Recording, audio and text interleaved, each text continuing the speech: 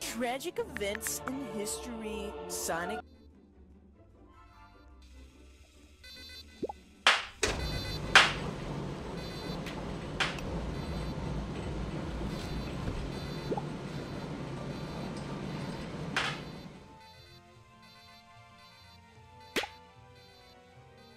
Tragic events in history, Sonic.